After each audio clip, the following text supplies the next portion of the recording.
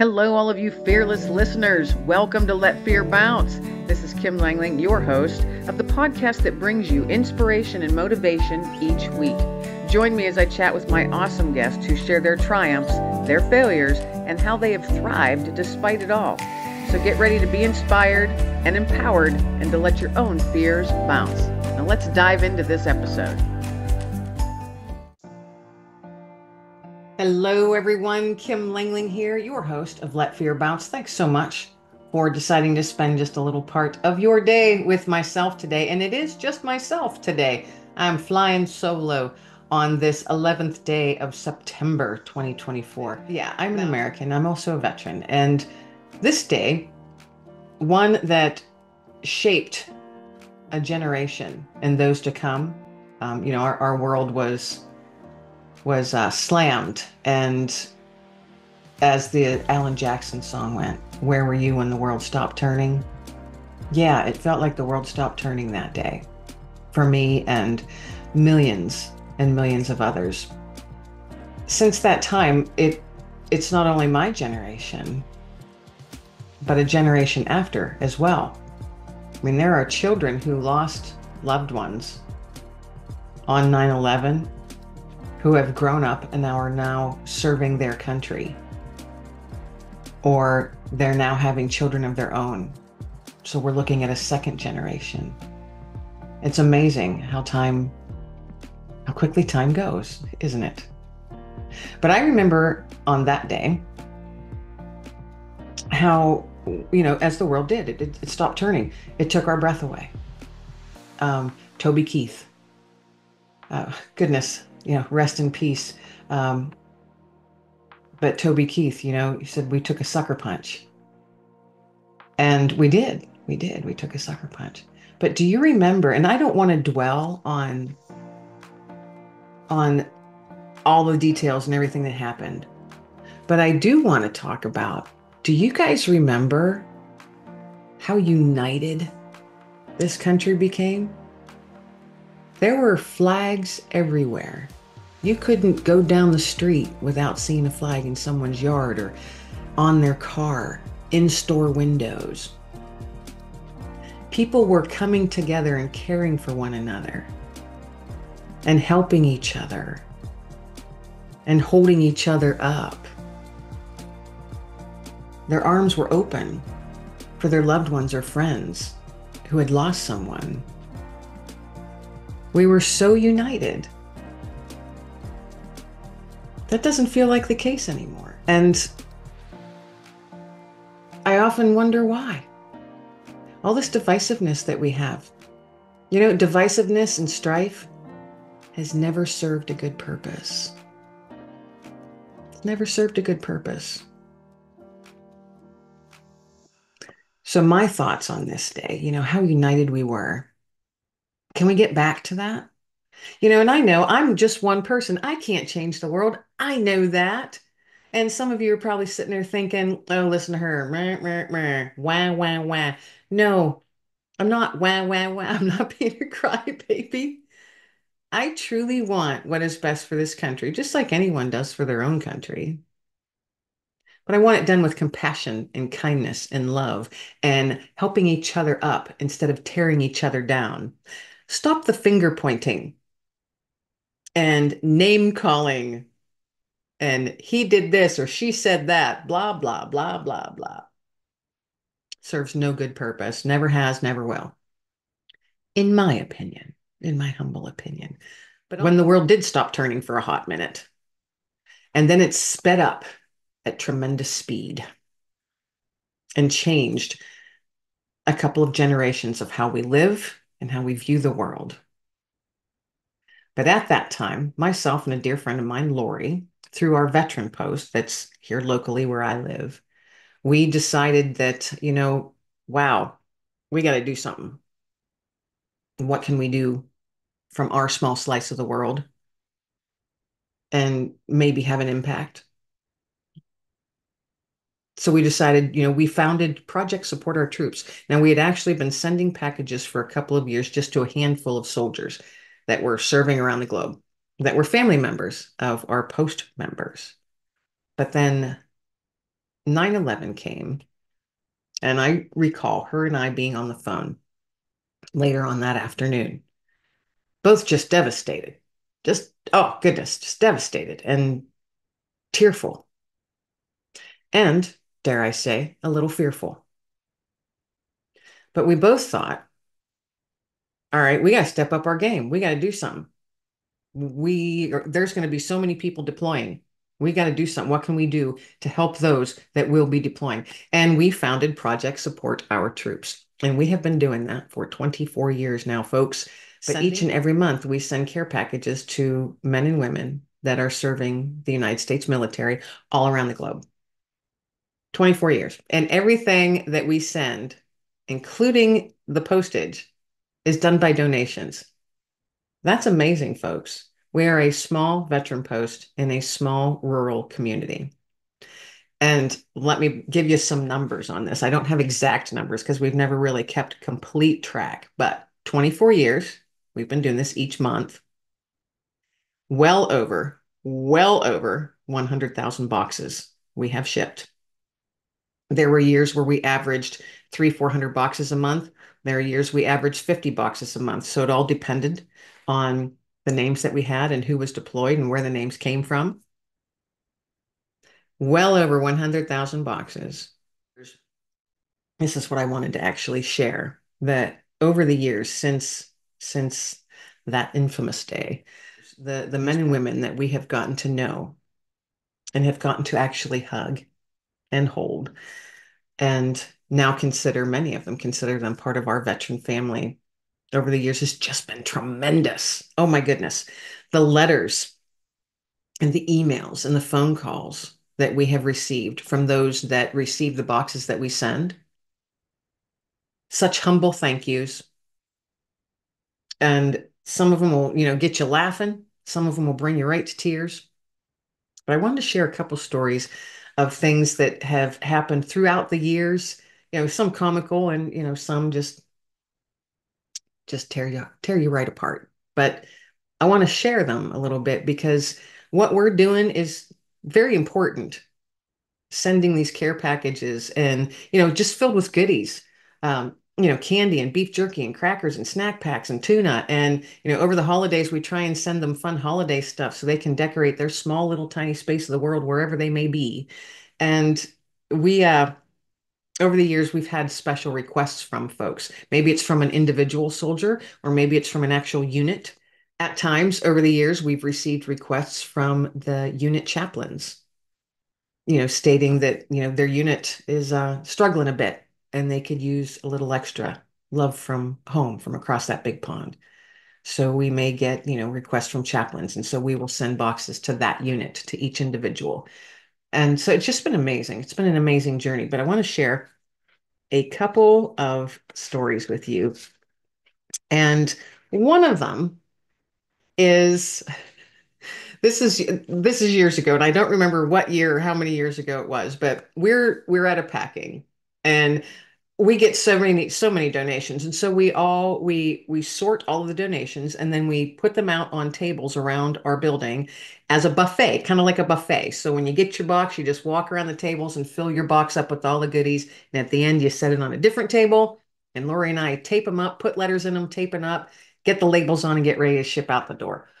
So this one day we're sorting all of the items that had been donated for that month. And there was a box of hair color and I looked at it and I went, Lori, are we going to send hair color?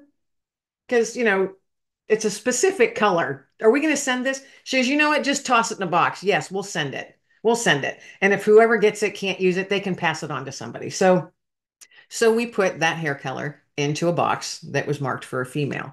And we have names for these folks. So we were, you know, getting everything shipped and we got it, you know, ready, shipped out the door. And several weeks later, we receive a letter from a major, a female major in the military, and she is stationed somewhere overseas in the big sandbox.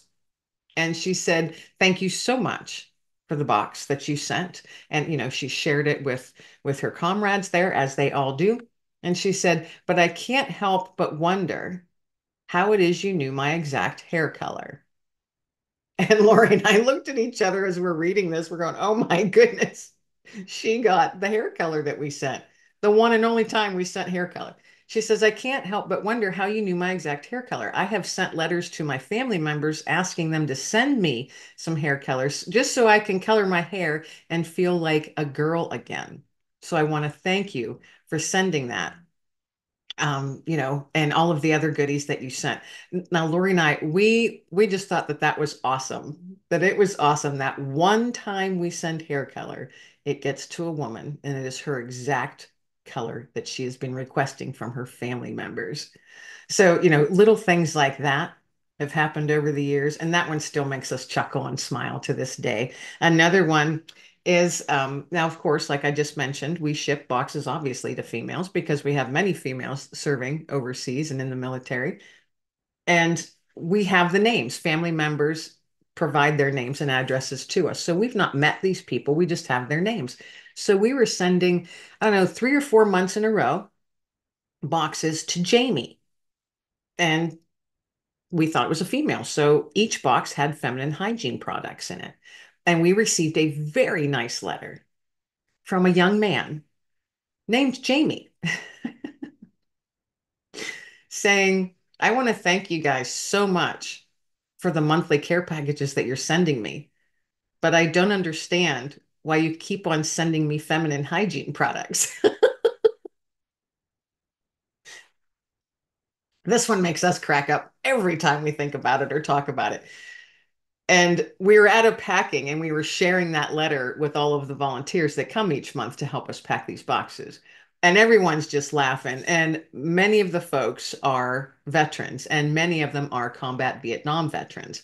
So we read that, or Lori read that letter out to all of the volunteers at this one particular packing. And the Vietnam vets were like, wait a minute, he can use all that stuff. We used to ask our moms to send us Tampax and pads it was pads we'd put on the inside of our helmets as sweat, sweat bands. Or we would put them on the inside of our ankles to keep the sweat from dripping down into our boots, to try and keep our feet dry if we were able to. Uh, Tampax they used for cleaning their guns. And one Vietnam combat veteran who actually was a medic, he said, Hey, tell them they you can use those for sucking chest wound. And we're all like, Oh, okay. So we compiled this list of all the things that the Vietnam vets said that they used that stuff for and said, you know, sent a letter back to this young man saying, We're so sorry. But hey, there are things that you can use these items for. And so we sent that list, you know, with love from the Vietnam vets. So that was pretty darn comical, you know, and we still we still get a kick out of that one too. And, and that's just a couple stories, a couple fun ones, you know, of the the folks that we got to send to and the letters that we received. Most of them are just so heartfelt and oh my goodness, they're so humble. We're sending them a box of, you know, beef jerky and cheese crackers and peanut butter and nuts and hard candy and cookies and whatever it is that we get in as a donation that month. And they're just overwhelmed by the thought that people they don't even know are sending them boxes and saying that we care for them. And before we pack folks, we always pray. I always put my hands out and say, Circle up, folks, it's time to pray. And one of the rules before, as we pack, the first rule of thumb is you put love and prayer in that box before you start putting items in that box. So those boxes are always shipped off with love and prayer, which I think is pretty darn cool.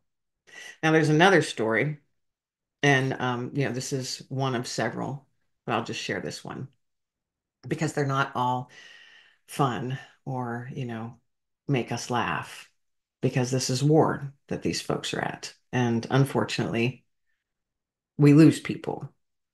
And there was a sergeant, I'm not going to share his name, but there was a sergeant that we received his name and address and we sent him a, a care package and he said, "Hey, I've got I got 16 guys with me, and they're all young, and I've been in a while, and they call me Grandpa, and I don't even think he was 30 yet, but they called him Grandpa because he'd been in and for a while, and he was in charge of this unit." And he said, you know, if you some of them don't get mail at all. If you if you could put their names on your list, that'd be so much appreciated. And of course we did. So we added those 16 names. And each month we sent them boxes. And we received so many amazing letters from these guys. And they were young, they were 18, 19 years old. And uh, we received so many beautiful letters from them thanking us for the stuff that we sent. And one Christmas, uh, and we always say in our letters, if there's something we could possibly send you, let us know. We received a request from one of the soldiers saying, you know, I would love to be able to have a Christmas tree. And I don't think that's going to happen over here where we're at, but it would be great if we could. And we received that letter and we went, oh, oh, yes, you can have a Christmas tree. so out we went got a three foot Christmas tree and all the trimmings for it. My daughter, uh, at the time, I think she was 11, maybe 12 years old. Uh, she made little stockings and put each of their names on those stockings. And she made little tiny angels out of beads and put an angel in each of those stockings with a little note saying, Thank you for being my guardian angel. Well, the guys just fell in love with those. Um, I personally burned a bunch of CDs. Yes, I burned CDs, folks. This is how far back I'm talking. I burned CDs on my computer, um, CDs of every genre of music that you can think of, and sent them CDs so they could all, you know, choose what they wanted to listen to. And uh, I actually um, I made uh, chapstick, like 400 chapsticks.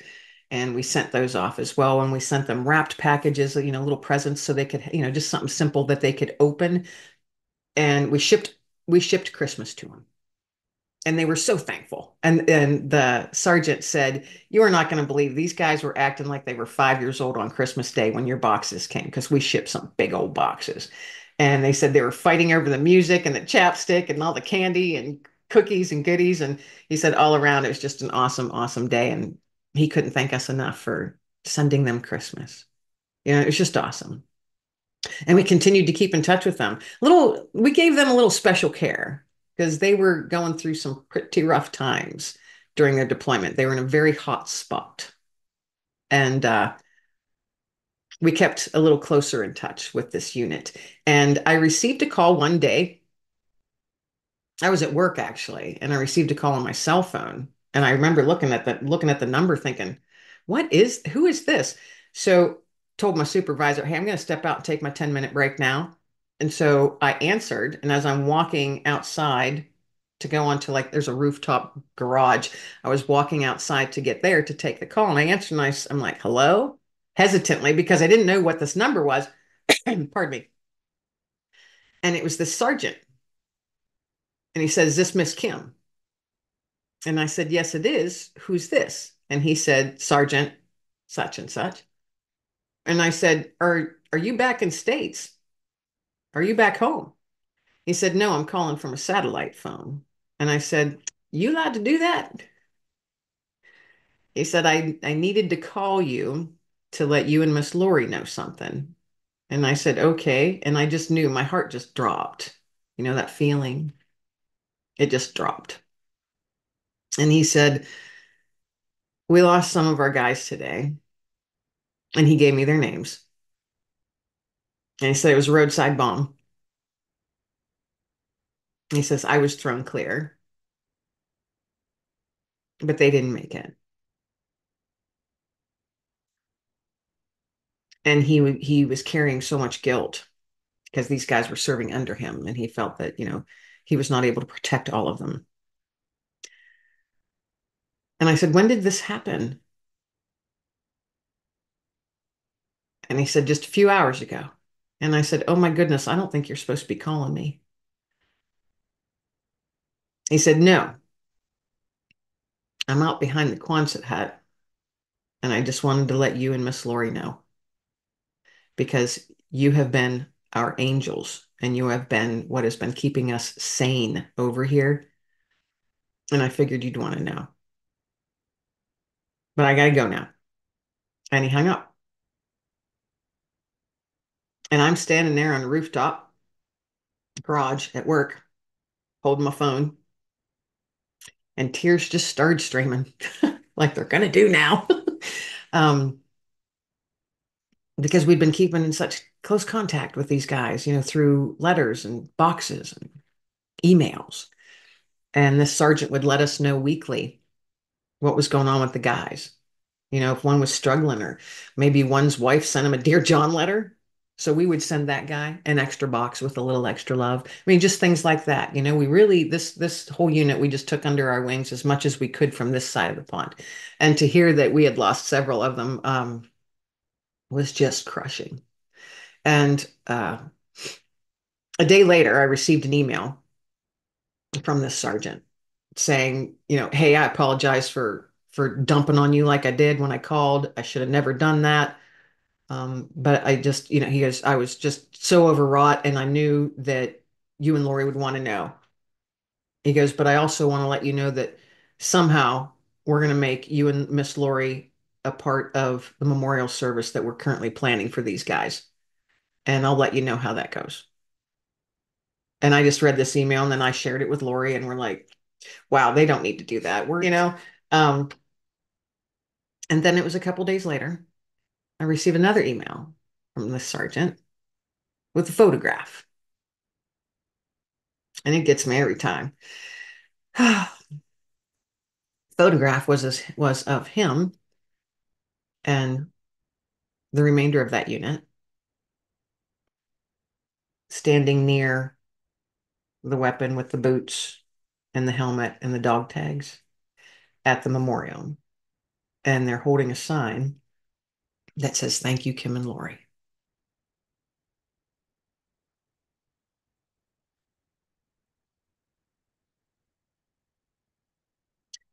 Goodness, still gets me all these years later. It's been a hot minute, folks. It's been a while. Um, we were, Lori and I were so ridiculously humbled by that. So humbled. We did keep in touch with them for the rest of their deployment. And they were there for quite a while. They were there for quite a while. And uh, kept in touch with them. And when they were all rotating home, they were so excited, you know. And we never heard from any of those guys again, except for the sergeant. And he did keep in touch for a while. And then uh, received another call from him. This is probably a year after they were all home.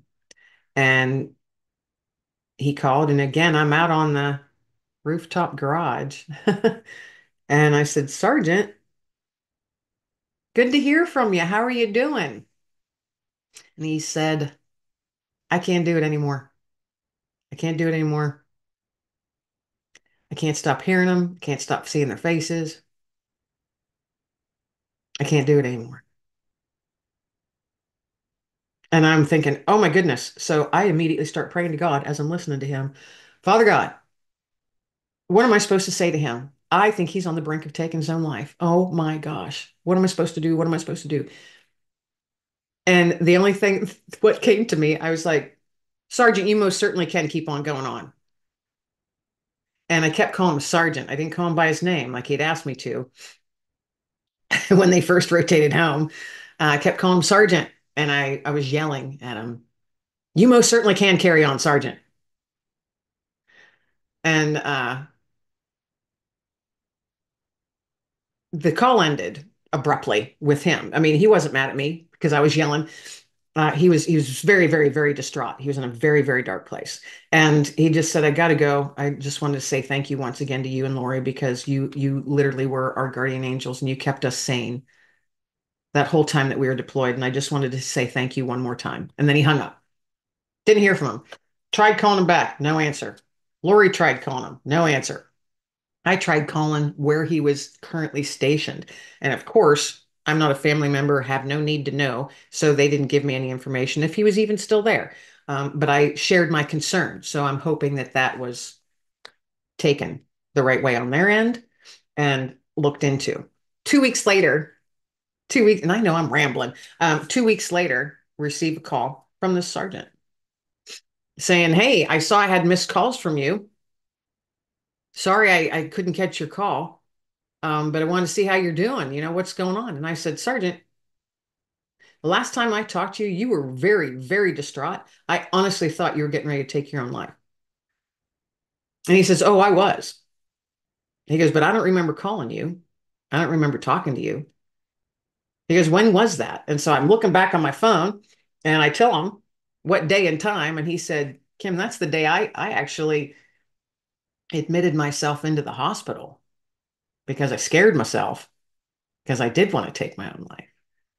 He goes, I've been in the hospital a couple weeks and I just got out and saw that I had missed calls from you. So I wanted to, you know, make sure everything's okay. I'm like, oh my gosh. I go, do you have any idea how much you scared me? but uh, it was, we were so thankful that he was okay. Um, and that was actually the last time we heard from him. And to this day, this is years later, to this day, I hope he's doing all right. I do. I hope he's doing all right. But you know, it's things like that, folks. You know, so so many people, so many stories, so much history over the last 24 years of Project Support Our Troops. And it all began really, really, really ramped up on this day, all those years ago. Do we wish it could be different? Yeah. And I bet you there's so many families out there that wish the same. But since it isn't, we do what we can. And we do it in love, with compassion and kindness, not divisiveness, not harsh words, not tearing each other down, but a handout to help each other up and to hold each other up when needed. That's what this day, all of that that I just shared, I know I just rambled, boom, boom, boom, um, and maybe you're not even still listening, but uh, that's what this day each year brings to mind. All these men and women that we've kept in touch with over the years, all the family members that we've sat with at the funerals of their loved ones that didn't make it home, the welcome home parties that we've attended of those who did come home safe and sound, the family members that we've held as they've cried because they miss their family member or they're so very worried and it's so hard to keep the home fires burning on their end. They're working full time and they got young children and it's just them now. And you know, how do I get the the the driveway plowed during the winter? I don't have a plow. I don't know how to do that. We can't afford to, to hire somebody to do little things like that. So it's not just the boxes that we ship. It's it's what we do back here on this side of the pond too. We support the family members as well. And they in turn support us by coming to the packings each and every month. It's fellowshipping, you know, it's just, I mean, it's just amazing. We've all become family members over these years and some have come and gone, come and gone, come and gone. And then we've got the some, some that stayed with us. They have been with us the entire 24 years. It's amazing. It truly is amazing, folks. And the love and compassion and passion that we have for this project. I know you're out there listening. You probably have something like that that you're passionate about. This just veterans and those who serve just happen to be my passion. But you know, you know how it feels if you've got something you're passionate about, a cause, an organization that you're part of. You know that feeling in your heart. And that that thing that keeps you going and wanting to keep on going. You know, every time we get receive a letter saying thank you so much, you have no idea how this made my day or you guys this your box made me smile and it's the first time I smiled in days or you sent me this oh my gosh i can't i haven't had this candy since i was a kid. You you know just you just made my day. It was awesome. Little things like that folks that's what keeps us going because it's not easy keeping something like this going for so long and it's all done by donations. Sometimes it's frustrating. Sometimes it's heartbreaking. Sometimes we don't think we can do it anymore. Maybe we don't have enough stuff coming in or physically or mentally. We're we're tired because it hurts sometimes a lot. But then we receive one of those letters or one of those emails, or a family member shows up at a packing and says, My husband just sent me a letter and I got to share it with you. And it just, you know, that's what keeps us going. So on this day, think of what, you know, what is it that you can do to show love, compassion, and kindness to someone else? Someone who uh, may have a loved one serving right now, someone maybe to someone who lost a loved one over 20 years ago on that day. I know those those kids are growing up and married and having kids of their own, you know. I mean, what a legacy. But what is it that you can do in your own small slice of the world to make it better? We can all be nuggets of hope. That's how I want to wrap this up. Filled with hope. Is this day somber? Yes. Yes, it is. And my flag is flying at half staff. And I have said a special prayer. And I will say another one at the end of this day. But where you are at in your small slice, you can make a difference by being a nugget of hope. Be a nugget of hope, folks. This world sorely needs it. So you can be your own nugget of hope and change your own neighborhood, your own community, one person at a time. If you're a veteran, I would like to thank you for your service. And I know it sounds, you know, so trite and it just seems so simple, but it is a heartfelt thank you. Thank you for all that you have given and sacrificed. Because there are many, many of us know who know how hard it is to leave your loved ones and go serve your country. Because you worry too. You've got a job to do, but you still worry about your loved ones back home on this side of the pond. We know that. So thank you for all that you have given and continue to give.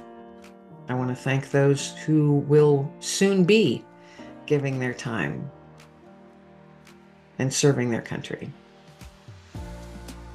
God bless you all. God bless you all. And God bless this country. And on this day, 9 11 2024, take just a moment to reflect and be thankful. Be thankful that we have those who are ready to step into harm's way to keep us safe. That is no small deal, folks. That is no small deal. I wish you all a blessed day. This is Kim Langling, your host of Let Fear Bounce. Everybody be well, stay well, and above all, be blessed. Thank you for tuning in to another episode of Let Fear Bounce. I do realize that your time is precious, and I appreciate that you've decided to spend just a small part of your day with myself and my guest. I hope that you found inspiration and motivation tucked into this conversation today. And remember, every triumph and failure is a step towards thriving. So stay fearless, stay inspired, and join me each week with more inspiration from amazing guests from all over the world. Until then, stay fearless, my friends, and let fear bounce.